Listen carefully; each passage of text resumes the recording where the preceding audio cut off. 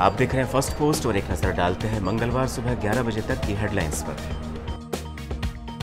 संसद का मानसून सत्र 18 जुलाई यानी कल से शुरू होने जा रहा है।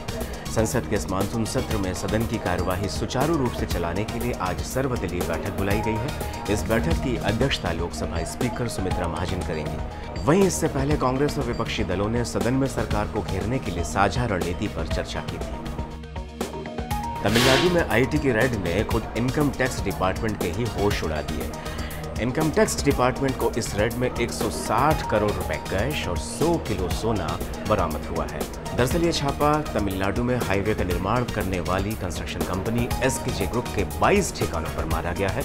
इस कंपनी के मालिक का नाम नागराज सैयदुरई है सोमवार से महाराष्ट्र में दूध उत्पादक किसान आंदोलन कर रहे हैं। उनकी मांग है कि दूध की कीमतों में प्रति लीटर पाँच रुपए की बढ़ोतरी की जाए। इस वजह से मुंबई समेत दूसरे शहरों में दूध की किल्लत ना हो।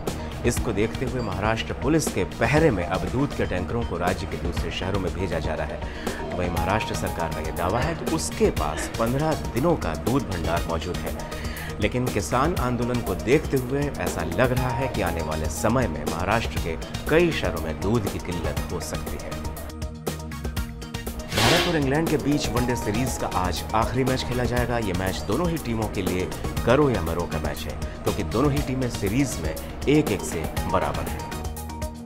सुबह ग्यारह बजे तक की हेडलाइंस में फ़िलहाल इतना ही। आप देखते रहिए Hindi first post dot com.